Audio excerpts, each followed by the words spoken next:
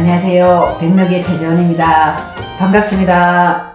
오늘은 2024년도 갑진년 을축달, 지금 이제 1월달이 아직까지 작년 개면연도의 음력으로 따지면 을축달 12월달입니다. 이제 을축이라 해서 푸른 색깔을 띤 소달이라고 표현을 합니다. 그런데 을축달에 뱀띠들하고 어, 합의가 되는지에 관해서 설명을 드리겠습니다.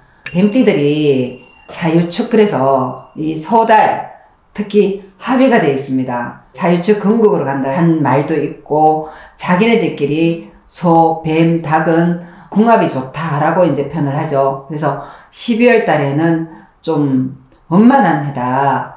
내 사주팔자에 아주 이제 연한 일시 중에 아주 악재가 없는 이상에는 이달은 원만하게 잘 넘어갈 수 있다. 그러나 이제 1989년도 36살 기사생들은 성공하고자 하는 일들, 뭐, 내가 시험을 친다, 간운, 뭐, 이제, 공무원 시험을 친다, 취업을 한다, 또 뭐, 이성 문제 가지고 결혼을 한다, 이렇게 했을 때는, 이달 같은 경우에는, 뭐, 원만하게 그냥 흘러갈 수가 있다. 그리고 1977년도에 태어난 48세 정사생들은 누구보다도 정열적이고 뜨겁게 모든 일들을 해내는 기질을 갖고 있습니다. 이 정사일주들이. 그리고 정직하고 똑바르고 남들을 위해서 불을 밝혀줄 만큼 긍정적으로 에너지나 텐션이 엄만한 사람들이에요. 근데 이제 을축하고 갑을 타, 축 이래가지고 아주 이달에는 괜찮은 해다. 왕제에서 보일 수도 있고 내가 노력만 잘하면은 좋은 월이 될 수가 있다라고 표현을 하고요.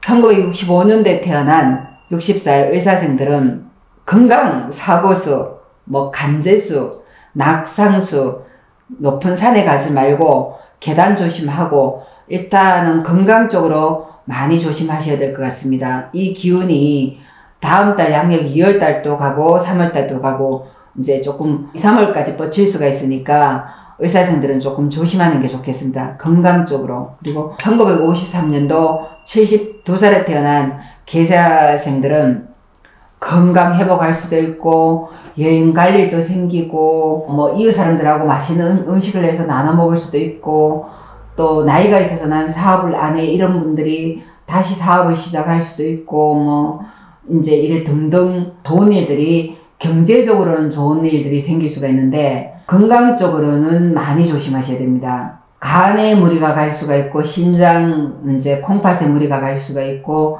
낙상수 이제 쉽게 말하면 낙매수죠. 미끄러져서 다친다. 차 사고 나서 다친다. 건강 쪽으로만 조심해 주면은 개사생들은 경제적으로는 좀 풍요로워질 수 있는 한 달이 될 수가 있겠죠. 그리고 다음 달도 마찬가지입니다. 원만하고 괜찮은 달로 넘어가고 2월, 3월 달, 4월 달까지도 괜찮다라고 볼 수 있으니까 건강 조심을 또 조심했으면 좋겠습니다. 여행이 뭐 이랬던 저랬던 갑진년도에 뱀띠들이 썩기 좋은 운은 아니에요. 그러나 내가 태어날 연도에 푸른 색깔 뱀인지 뭐 황색깔 뱀인지 붉은 색깔 뱀인지 등등 이렇게 따라서 다르고 내가 태어난 연월 일시에 따라서 조금씩 한 해를 맞이하는 게 달라질 수가 있으니까 내가 어떤 색, 어떤 색깔을 띠고 태어난 뱀인지 내가 무슨 달에 돼지달에 태어났는지 뭐 뱀달에 태어났는지 또 내가 태어난 날짜가 뭐 어,